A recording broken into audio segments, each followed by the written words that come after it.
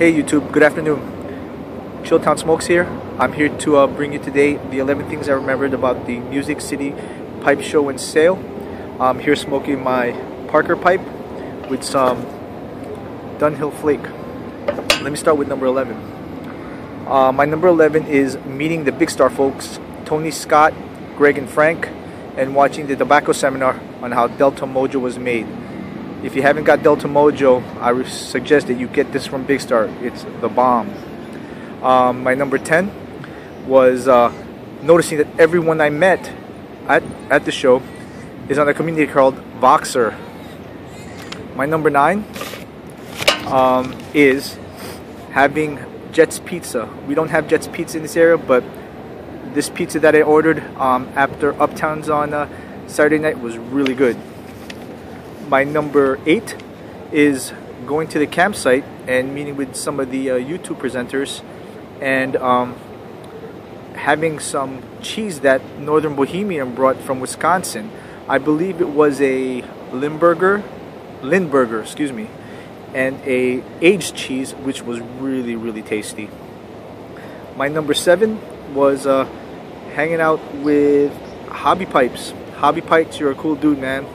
Um, glad I met you, man. My number six is meeting Beans 316. Brian.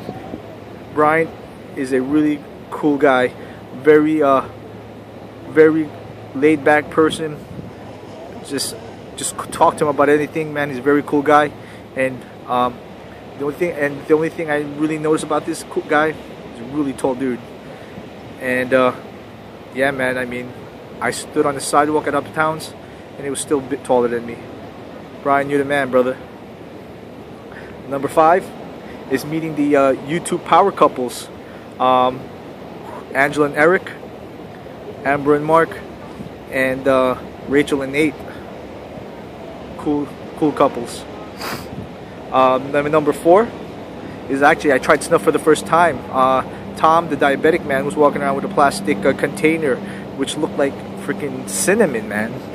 And uh, I had it, and it was, it was freaking really good, man. It it had like a floral smell to it, and with a kick of menthol, man. It was really good for the first time I tried snuff.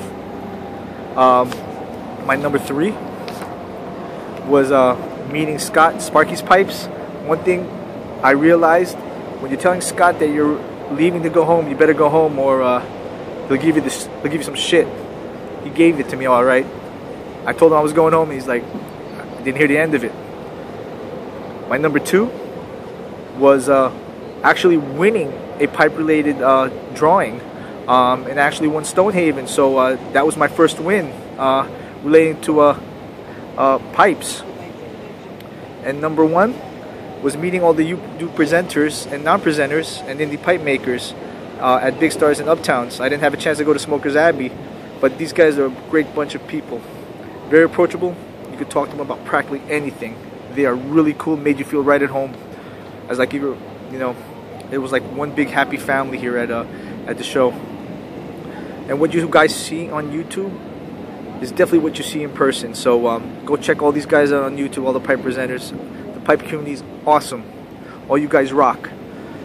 Um, I want to give a special thanks to uh, Big Star Cigars, Uptowns, um, uh, Joe Case, the Southern Pipe Club, um, for hosting the event. And um, yeah, so um, just check out everybody's videos um, on YouTube. Uh, everybody's cool. So for now, um, happy trails till we meet again next year. Take care.